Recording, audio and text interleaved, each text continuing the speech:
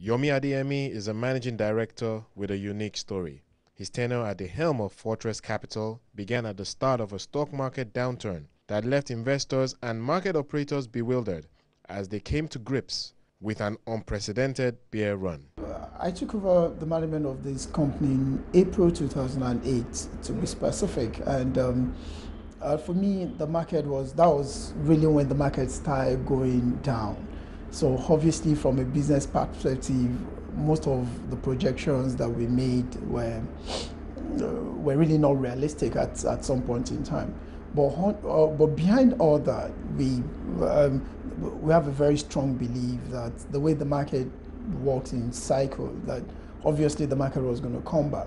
So and the only thing we just had to do was to um, to tweak our strategy a bit uh, uh, that way ensure that yes, we we try to minimize um, our um, uh, operational cost and um, and look out for investments that we believe would um, uh, would uh, would give good returns. The drop in brokerage business led to a focus on increasing operational efficiency and proprietary trading for many of the over 220 stockbroking companies that had to endure one of the longest and sharpest market declines in the history of Nigeria's capital markets. The brokers were a small part of a larger investment community smarting from huge losses. I joined as the DG of the Securities and Exchange Commission in January of 2010 on the back of total investor apathy. We'd had an unprecedented decline uh, in our markets. Uh, we'd hit bottom in February of 2009 uh, the market cap was less than 4 trillion naira at that point in time. A number of investors felt they'd lost their life savings. Uh, some had sold homes uh, and put in the market. Uh, we'd had uh, incidences of Ponzi schemes. we'd had a variety of market abuses, share price manipulation, insider dealing, and other forms.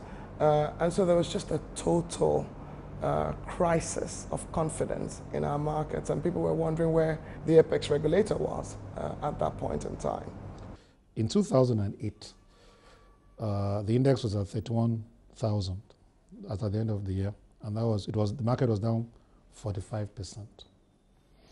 In 2009, the index had dropped from 31.45, 31,000 in 2008 to 20,000 in 2009. The market dropped 33.78% in 2009. If you add the two together, it gives you the scale of how bad it was. There was a brief rebound in 2010 and the market went up 18.93. But if you know that the market had gone down 45% and 33% and was up 18%, for practical purposes, it was still way, way down. In 2011, last year, the market was down 16.31. So basically, those four years captured the very worst. And what was happening was that people were losing, depending on what stocks they had bought, up to 70% of the value of their stocks. Some lost almost 80%. So basically, you bought something at 100, you know, you were worth 100 naira. You were suddenly worth 20 naira. Uh, for those people that, you know, the banks are no more, they've lost their shirt. And you will recall that some of those banks were trading at some crazy price. The market was clearly very overbought it was really a bubble market. It was created by far too much liquidity. Um, the reason for the liquidity was that the banks had just consolidated so they were much larger and then they come to the market and raised capital themselves. Now they had to spend that capital. And an awful lot of that money, which was leveraged, then went into the stock market. And it took it up to levels that were clearly unsustainable. Insurance companies were ridiculously hit, banks were seriously hit, and then investors went from wealth to debt and you, you have to you have to think about what the psychological what the psychological impact of that. One day you're worth 100 million, the next day you're worth negative 80 million. It's, and all this happened in the space of 10 months. The seeds of the market downturn were sown in the years prior to the 2008 peak. The market was going up, and so everyone wanted to take part in the market. So you had those who, through the stock exchange, were able to list and also raise money through the stock exchange.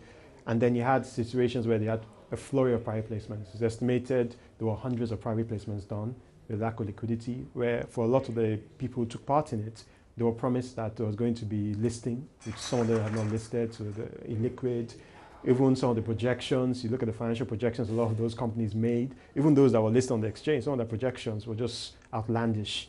And but the market was had this confidence in the market, and so it just seemed like it was never going to go down. In 2007 to early 2008, what we really had was the proverbial bonfire of the vanities. Private placements were the issuances that were hitting the market were generally lightly regulated and investors were investing based on nothing more than past experience in other investments that in a lot of times were unrelated and the level of scrutiny of investments was very low. On the flip side, you had banks that were awash with capital that they had to put to work. And for them, it was, it was a no-brainer to do. Price manipulation.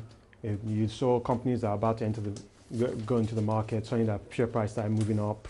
You saw were allegations of insider trading um, opaque, no lack of transparency within the market, and just um, brokers selling clients stocks without informing clients, just various kind of infractions, which there seem to be no uh, regulatory punishment. A global financial crisis and attempts by the NSE management to stem the tide only added more impetus to the bear run. It happened to coincide with the, the foreign markets collapsing and a lot of people having to, a lot of international fund managers having to pull out of Nigeria, even though they didn't necessarily want to. Their books were being so hammered offshore that they had to actually sell stocks that they had a profit in. The stock exchange itself did not handle it very well when they started trying to put um, circuit breakers in place at 1% per, per day. Those don't work. When the market's going to go down, all they did was extend the, the pain over nine months which could have happened over two or three. And I don't believe the market would have fallen as much had they not had the stock had had they not had the circuit breakers in place. With investors' confidence at its lowest ebb, authorities in Nigeria's capital market had to begin the tough task of cleaning up the mess. On the back of the crisis of confidence, um, I think people, first of all, did not recognize that the investor is king in the capital market. And so uh, establishing, first of all, a shared objective uh, for the capital markets, which investors can connect to, capital market operators can connect to, and we, as the regulator, can lead, was very, very critical. That objective was to build a world-class capital market, because a world-class capital market is one that, first of all, has as its anchor integrity.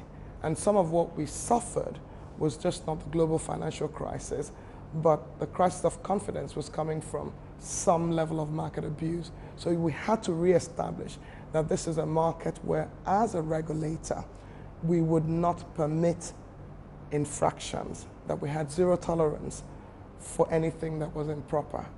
Okay, so we saw the reform objectives. Run us through some of the actions we've seen you take since then. You will recollect that in 2010, there were two very widely publicized enforcement actions that we took. The first one uh, was with respect to the intervened banks, where we alleged that there were a variety of market abuses, and it led us to take 260 individuals and entities to the Investment and, and, Securities Tribunal, essentially the court for issues related to the capital markets. The second one related to the Nigerian Stock Exchange. The Nigerian Stock Exchange is the most visible symbol of our capital markets because stock exchanges are the visible symbol of any capital market and ensuring that it was operating on the basis of uh, world class, uh, on the basis of best practice, ensuring that the leadership understood what it meant to build a world class market, that if there were any instances or corporate governance weaknesses or malfeasance, that that was behind us. A key element of the changes was the appointment of a new leadership for the Nigerian Stock Exchange. Emmanuel Ikazoboh was appointed as interim administrator in August 2010 to start the process of cleaning up the bourse. Subsequently, former Wall Street executive Oscar Onyema was appointed as the substantive CEO in April 2011 to drive and develop a long-term vision for a world-class stock market. One of the first things we said is that we're going to set out to build a very solid foundation for the Nigerian capital market. A solid foundation means that there's a lot of hard work to be done. And it's a multi-pronged approach work that needs to be done to build that foundation because it's the medium long term we're looking at. A capital market is not a quick fix, get rich quick scheme. yeah, it's got to be a fundamental part of uh, our national economy. I can remember very clearly uh, uh, uh, when we started, we looked at the compliance levels in terms of reporting for companies. Yeah, and uh, we found that a significant number of the companies listed in the exchange were actually not reporting uh, within the timings that is required. Yeah, and uh, how can investors actually have a fair discovery of price if indeed information is out of date? That was fundamentally impacting confidence. So one of the things we did then was actually we identified the companies, we spoke to them, gave them a deadline because I thought it was important that we actually work hand in hand. And those that required support, we gave them the support required to actually come up to speed. But it comes to a point where a regulator has to act as a regulator. Yeah, and we suspended 48. People thought, no, you can't do that. And we said, well, just watch what we've done. In addition to introducing new products such as exchange traded funds launched last year, other elements of a five year plan include the introduction of derivative products such as futures and options. One of the most exciting initiatives of the NSE this year is the takeoff of market making. If you noticed last year when we started, uh, uh, one of the things we did within three months was say, these are what we're going to deliver in 2011 yeah, uh, uh, there were some things within our control, things outside our control. We're not going to give a hand, you know, throw our hands up, but we're going to advocate. And uh, you know, I'm really pleased to say the staff of the exchange, the wider market, have supported us and we've delivered uh, uh on the 2011 agenda. You know, we launched the first ETF in West Africa. Uh, uh, that's doing uh, uh pretty well.